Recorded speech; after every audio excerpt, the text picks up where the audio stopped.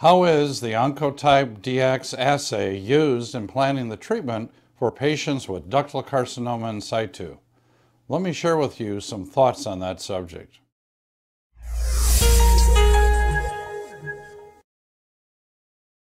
The Oncotype DX assay has been available now for several years. We use it in women who are estrogen receptor positive with either invasive ductal carcinoma or invasive lobular carcinoma.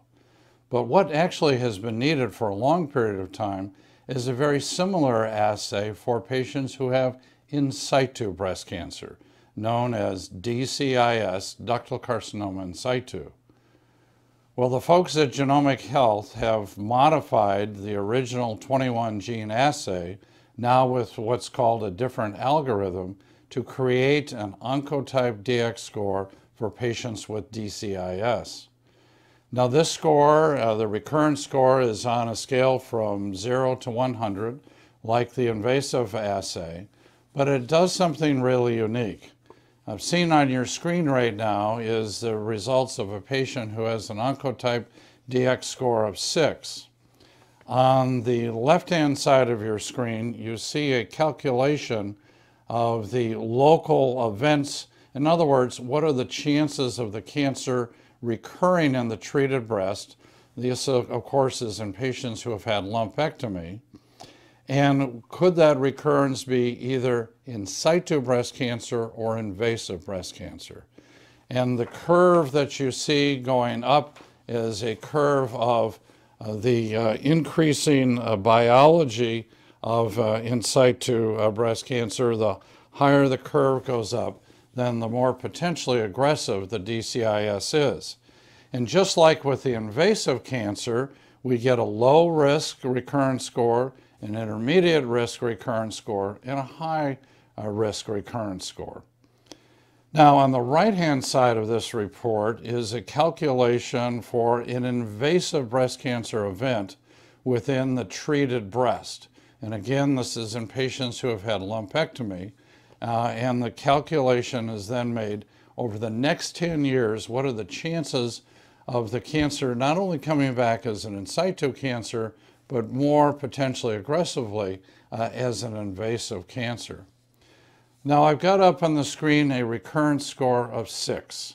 This is actually in one of my own patients, a 57 year old woman who had a small five millimeter uh, low-grade uh, ductal carcinoma in situ. And as you can see, the recurrence score came back a 6.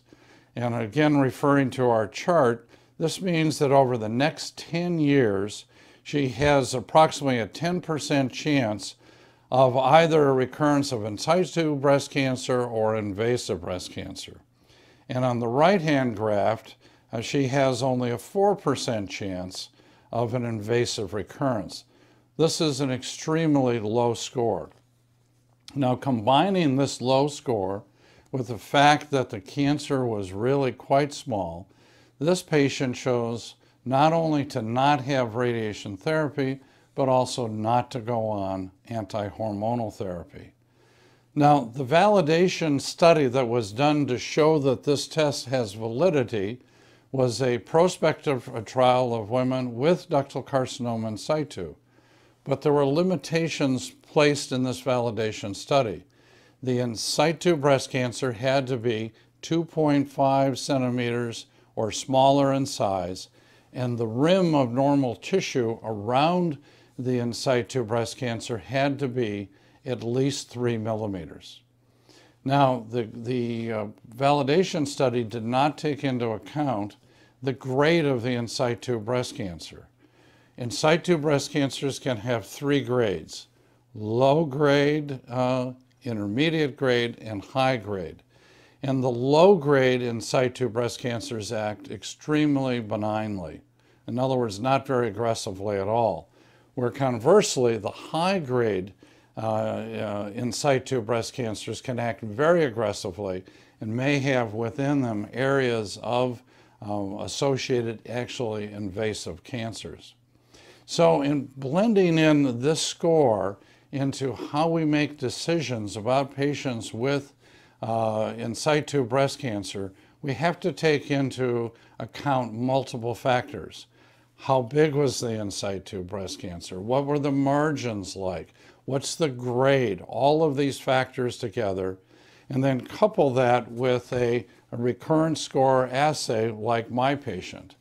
And I believe that my patient was treated absolutely appropriately uh, with uh, uh, no need for radiation therapy and no need for tamoxifen or any other form of uh, anti-estrogen therapy. Now, recently I was sent a question at breastcanceranswers.com about a DCIS recurrence score of 19.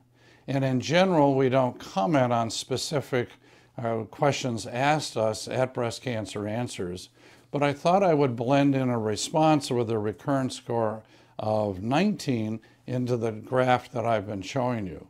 The calculations for any kind of event uh, in the uh, treated breast with a recurrence score of 19 is approximately 13%, or a little bit higher than the recurrence score of 6. So you see as the, as the uh, score uh, goes uh, up, the actual increase in the events in the low risk group is actually quite small. And also within the chances with a recurrence score of 19 of being over here with an invasive recurrence, uh, that uh, calculated out to only 5%. The bottom line here is that a low risk score is a low risk score. Many of these patients in the future are not going to require uh, adjuvant radiation therapy. I am putting this uh, assay into the use in my practice more and more. This gives us some additional information about what the biology of the in situ breast cancer is like. Just like with invasive cancers, the biology of in situ breast cancers is highly variable I believe that an oncotype recurrence score assay is going to be an important tool in helping us make bottom line decisions about how best to treat patients with DCIS.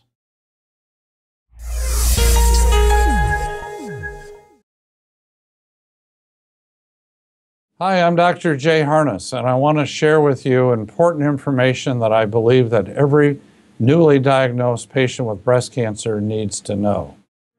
I'm a breast cancer survivor. I am a breast cancer survivor. I am a breast cancer survivor. And I want every woman to know about personalized breast cancer treatment and the genomic test. A test that helps guide a woman and her doctor to the best treatment options for her.